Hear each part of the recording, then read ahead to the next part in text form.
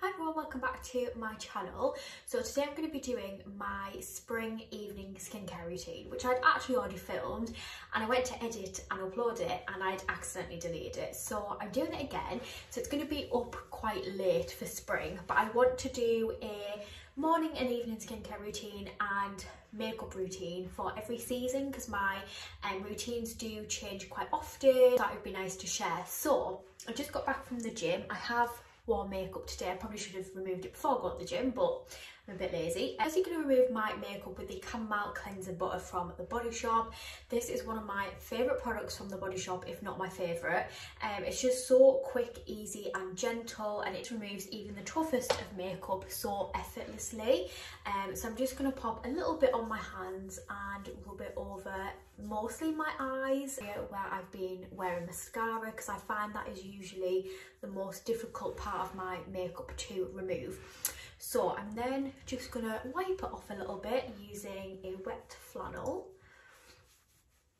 like that. And then I'm going to do a double cleanse this evening. Um, usually on my days off when I've got a bit more time and I've been wearing more makeup then I will do a double cleanse. So I'm firstly going in with the Jojoba bead cleanser from the Jojoba company. This is one of my favourite cleansers to use at the moment because the beads um, just make the cleanser a really nice texture. It's very exfoliating. It's still gentle, but it just makes my skin feel so, so clean and smooth after using it.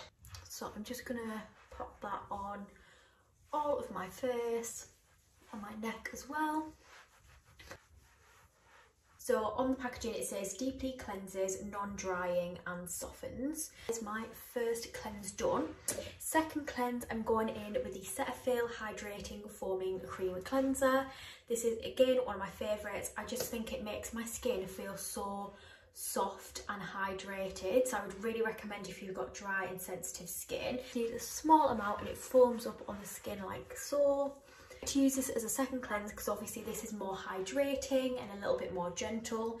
So it's nice to use after using that textured exfoliating cleanser flannel. And again just gonna wipe that all off. After cleansing my skin, I always go in with a toner. And the one that I'm loving at the moment is the Pixi Glow Tonic. Mine actually has my name on, it, it's personalised, which I find very cute and it's got a little pump applicator which is just really handy because of the size of the bottle. So i'm just going to pop that on a little cotton round and then just swipe that over my face and it's just going to remove any excess cleanser makeup impurities anything that's left on your skin after cleansing which hopefully shouldn't be a lot when you've double cleansed but i do sometimes miss spots especially around here like near my ears and sometimes my neck quickly go over my eyelashes as well.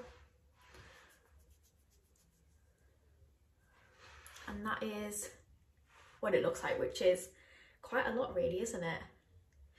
Okay, so I'm now just to let my face dry a little bit before I move on to the next step. So next I'm to use an eye cream and this is the one that I've been using at the moment which is from the Inkey List, is the Caffeine Eye Cream, which helps to reduce the appearance of tired eyes, which I definitely have. I have dark circles, like I sleep fine, I feel like my diet's okay. Um, so I really don't know why I've got dark circles, but one of the things I'm more self-conscious about face-wise, but but yeah, it's just trial and error with eye creams, I think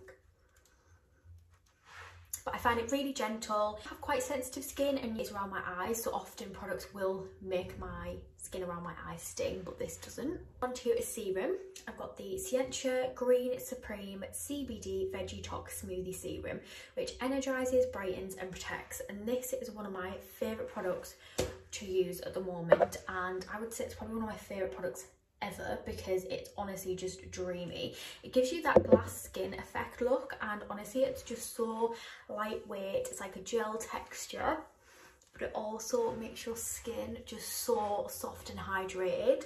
Um, I definitely think I could get away with not using a moisturiser because it's so moisturising. But yeah, I just love how it makes my skin feel and look and it smells amazing, like really fruity.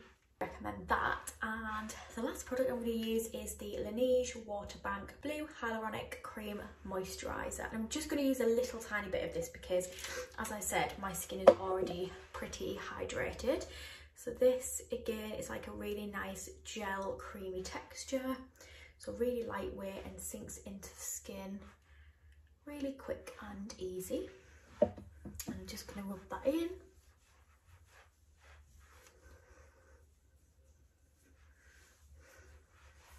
And that is my skin ready for bed. So that's my evening skincare routine.